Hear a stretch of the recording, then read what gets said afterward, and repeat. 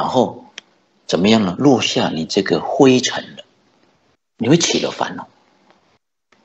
但是中风果实在这个地方告诉我们：无论你看到什么样，好还是坏，善还是恶的，你这一念当中，你不可以在这个生活里面就被转了。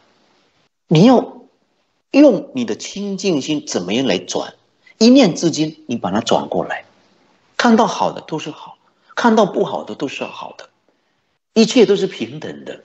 你不会被这些所看到的而所影响，影响你到你的心，扰乱你的清净心。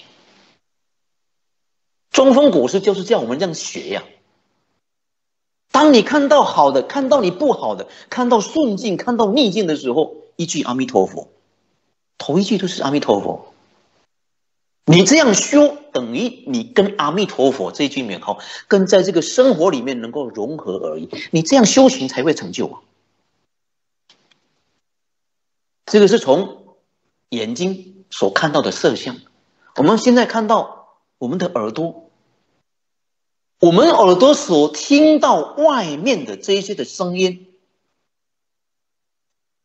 比如说有人批评你，你会感觉厌恶。发脾气不喜欢，有人赞叹你，感觉很欢喜很快乐。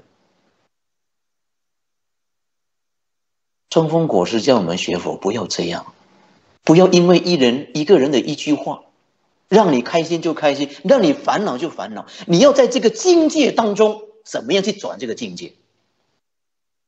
那个才是修行啊！不要因为听到一些你喜欢的，你就感觉很欢喜；听到一些不喜欢的。你就很发脾气了，你不要在这个境界当中去造业。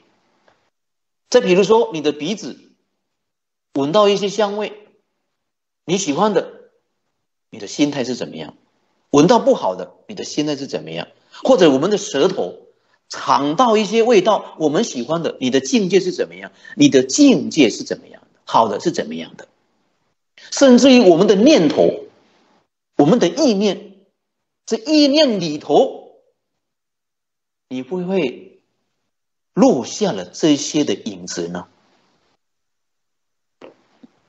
从你的内心的贪嗔痴慢疑、自私自利没有力量，你会不会被这些污染而落下这样的影子吗？这个就是六成。